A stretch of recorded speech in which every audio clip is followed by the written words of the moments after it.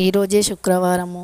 ఈరోజు రాత్రి పన్నెండు లోపు కేవలం మీ బీరువాలో ఈ రెండు వస్తువుల్లో ఏదో ఒకటి మీ బీరువాలో పెట్టుకొని చూడండి. ధనం అనేది అంతకంత పెరుగుతూ వస్తుంది. మీ బీరువాలో ఇంతవరకు చిల్లి గవ్వ లేకపోయినా సరే ఇవి పెట్టిన నుండి ధనం అనేది ఆకర్షించడం మొదలవుతుంది. లక్ష్మీదేవి తిష్ట వేసుకొని మరి మీ ఇంట్లో కూర్చుంటుంది. అంతేకాకుండా అనవసరమైన ఖర్చు అనేది తగ్గిపోయి ఆర్థికంగా ఎంతో బాగా స్థిరపడతారు. చాలామంది బీరువాలో ఇలా డబ్బు పెట్టగానే అలా నీటిలా ఖర్చు అయిపోతూ ఉంటుంది.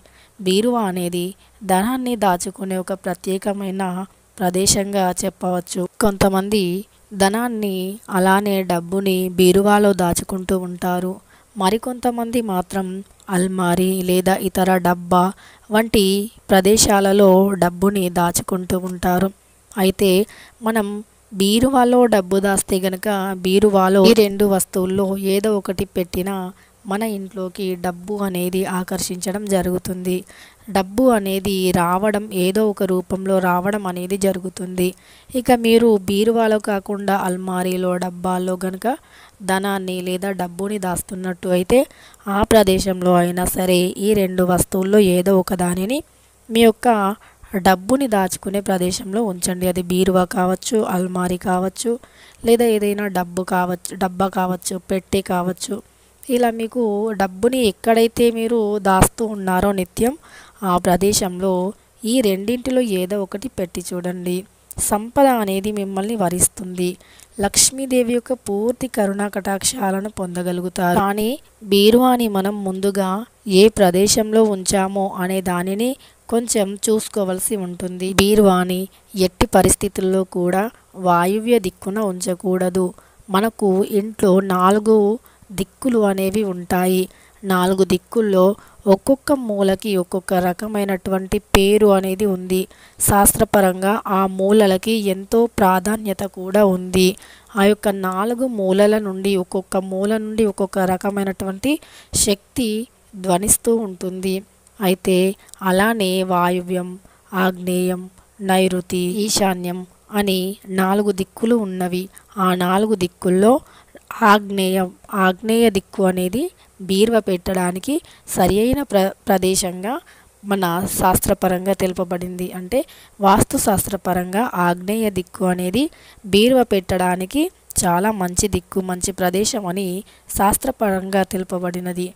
అందువల్ల ఎప్పుడూ కూడా బీరువని ఆగ్నేయ దిశలోనే పెట్టవలసి ఉంటుంది. ఆగ్నేయ దిశ అనేది లక్ష్మీ కుబేర స్థానంగా పరిగణించబడినది.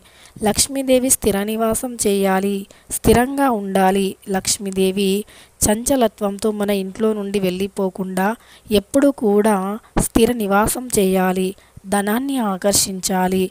అంటే గనక ఖచ్చితంగా బీరువాని అంటే ఆగ్నేయ దిశలో మాత్రమే బీరువాని ఉంచుకోవాలి. పొరపాటున గనక మీరు వాయువ్య దిక్కున బీరువాని పెట్టారు అంటే గనక మీ బీరువాలో ఉన్న డబ్బు అనేది గాలిలాగా దూసుకుపోతూ ఖర్చయిపోతూ ఉంటుంది. మీరు ఎంత సంపాదించినా సరే ఆ సంపాదన అనేది ఎట్టి పరిస్థితిలోనూ మిగలదు. కాబట్టి బీరువా పెట్టేటప్పుడు కొంచెం ఆలోచించి పెద్దవారిని మీకు తెలియకపోతే పెద్దవారిని అడిగి మరి బీరువాని సరి అయిన ప్రదేశంలో పెట్టవలసి ఉంటుంది. అయితే వాయువ్య దిక్కున మాత్రం ఎట్టి పరిస్థితుల్లో ఉంచకూడదు. ఇక ఆగ్నేయ దిశలో మాత్రమే బీరువాని ఉంచాలి. తర్వాత మీరు బీరువాలో ఏది పెట్టాలి అంటే గనక మన శాస్త్రపరంగా కొబ్బరికాయకి ఎంతో మంచి ప్రాముఖ్యత ఉంది. కొబ్బరికాయలో ఉండే నీరు అనేది చాలా స్వచ్ఛమైనది. నీరు అంటే లక్ష్మీదేవికి ఎంతో ప్రీతి. ఎందుకు అంటారా? నీరు అంటే అమ్మవారు పుట్టింది సముద్రం నుండి. నీరుకి సముద్రానికి ఉప్పుకి అమ్మవారు చాలా కనెక్ట్ అయి ఉంటారు. అంటే నీరు సముద్రంలో ఉండేది నీరు. సముద్రం నుండి వచ్చే దొడ్డుప్పు. ఇవంటే అమ్మవారికి చాలా ఇష్టం. నీరు ఎక్కడైతే ఉంటుందో లక్ష్మీదేవి అక్కడ ఉంటుంది అని శాస్త్రపరంగా ఎప్పుడూ నిరూపించబడినది. అందుకే ముందుగా మనం లక్ష్మీదేవిని ఆకర్షించడానికి అమ్మవారి యొక్క పూర్తి కరుణా కటాక్షాలను పొందడాని కోసమని మనం శుక్రవారం రోజు కానీ ముఖ్యమైన వ్రతాల్లో కానీ కలశాలను పెట్టినప్పుడు ఆ కలశం చెంబులో నీరుని కంపల్సరీ వేస్తూ ఉంటాము. కొంతమంది బియ్యాన్ని వేస్తారు అనుకోండి అది వేరే విషయం. కానీ మనకు ముఖ్యంగా మాత్రం నీటితో మాత్రమే కలశాన్ని పెడుతూ ఉంటాము. ఎక్కువగా నీరు పోసి కలశాన్ని పెట్టినప్పుడు లక్ష్మీదేవి ఆవాహితం అవుతుంది అని అంటే ఆకర్షితురాలు అవుతుంది అని నీటికి అమ్మవారికి చాలా అనుసంధానమై ఉంటుంది అని మనకు శాస్త్రపరంగా ఎప్పుడో తెలుపబడినది. అయితే ఎరుపు రంగు వస్త్రం. ఎరుపు రంగు అంటే లక్ష్మీదేవికి ఎంతో ప్రీతికరం. అని మన అందరికీ తెలిసినదే. అయితే ఈ యొక్క ఎరుపు రంగు వస్త్రాన్ని తీసుకొని లేదా ఒక కొబ్బరికాయను తీసుకొని ఏదైనా గుడికి వెళ్ళిరండి. శివాలయానికి కావచ్చు లేదా లక్ష్మీదేవి టెంపుల్కి కావచ్చు విష్ణుమూర్తి యొక్క టెంపుల్కి కావచ్చు వెళ్ళండి. ఇలా గుడికి ఏదైనా గుడికి వెళ్ళేటప్పుడు మీరు ఎరుపు రంగు వస్త్రాన్ని బీరువాలో పెట్టుకోవాలి అనుకుంటే గనక ఒక ఎరుపు రంగు వస్త్రాన్ని తీసుకొని వెళ్ళండి. లేదా ఒక కొబ్బరికాయని బీరువాలో పెట్టుకుంటా అనుకుంటే గనక ఒక కొబ్బరికాయను మీరు గుడికి మీతో పాటు తీసుకొని వెళ్ళండి.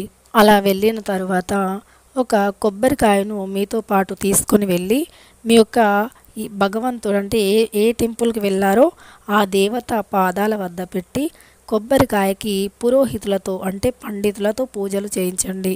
అంటే ఇప్పుడు సహజంగా గుడిలో పూజలు చేస్తూ ఉంటారు కదా పూజారి అని ఆ పూజారి గారితో కొబ్బరికాయకి పూజను చేయించండి. ఆ కొబ్బరికాయకి పూజ పూర్తయిన తర్వాత దానిని మీతో పాటు తిరిగి ఇంటికి తెచ్చుకోండి. ఆ కొబ్బరికాయను కొట్టకుండా మీతో పాటు తిరిగి ఇంటికి తెచ్చుకోండి. ఒకవేళ కొబ్బరికాయ కాకుండా ఎరుపు రంగు వస్త్రాన్ని మీతో పాటు తీసుకుని వెళ్తే గనక ఆ ఎరుపు రంగు వస్త్రాన్ని అమ్మవారి యొక్క పాదాల వద్ద కానీ అమ్మవారి యొక్క ఒడి అంటాం కదా ఒడిలో కానీ పెట్టి పూజలు చేయించండి. ఇక అలా పూజలు చేయించిన ఆ ఎరుపు రంగు వస్త్రాన్ని మీ ఇంటికి తెచ్చుకోండి. కొబ్బరికాయ అయినా లేదా వస్త్రమైనా సరే మీతో పాటు తీసుకొని వెళ్ళి మీరు పూజలు చేయించుకొని గుడిలో ఏదైనా గుడిలో పూజలు చేయించుకొని మళ్ళీ తిరిగి ఇంటికి మీతో పాటు తెచ్చుకోండి. అలా తెచ్చుకున్నటువంటి ఎరుపు రంగు వస్త్రాన్ని కానీ లేదా ఒక కొబ్బరికాయను కానీ మీరు మీ బీరువాలో ధనాన్ని దాచుకునే ప్రదేశంలో ఉంచండి. అలా ఉంచడం వల్ల అఖండ ఐశ్వర్య యోగం కలుగుతుంది. అనవసరమైన హృదా ఖర్చులు అనేవి ఖచ్చితంగా తగ్గిపోతాయి. మీ జీవితంలో ధనానికి లోటు అనేది ఉండదు అని శాస్త్రపరంగా నిరూపించబడినది. ఎరుపు రంగు వస్త్రం కూడా అమ్మవారికి చాలా ప్రీతికరం. ఎరుపు రంగు వస్త్రం దేవతకి వాడిన తర్వాత అంటే పూజకి వాడిన తర్వాత మళ్ళీ తెచ్చి బీరువాలో పెట్టుకోవడం వల్ల సకల సంపదలు అష్టైశ్వర్యాలు భోగభాగ్యాలు కలుగుతాయని శాస్త్రం చెబుతుంది. ఇక కొబ్బరికాయ అంటారా? కొబ్బరికాయలో ఉన్న నీరు అనేది ధనాన్ని ఆకర్షిస్తుంది. ఎంతో పవిత్రమైన కొబ్బరి నీళ్ళతో పాటు ఎంతో అద్భుతంగా పూజలు జరిపించబడి మళ్ళీ అవి మన ఇంట్లో ధనం దాచుకునే ప్రదేశంలోకి వచ్చి ఉంది అంటే చాలా అద్భుతం. మంచి ఫలితం ఖచ్చితంగా కలుగుతుంది. ఇలా ధనానికి అధిపతి అయిన లక్ష్మీదేవి యొక్క అనుగ్రహాన్ని పొందాలి అనుకుంటే ఈ విధంగా ఒకసారి ప్రయత్నించి చూడండి. అద్భుతమైన ఫలితాలను పొందగలుగుతారు. ఈ వీడియో నచ్చితే ఒక లైక్ చేయడం అస్సలు మర్చిపోవద్దు.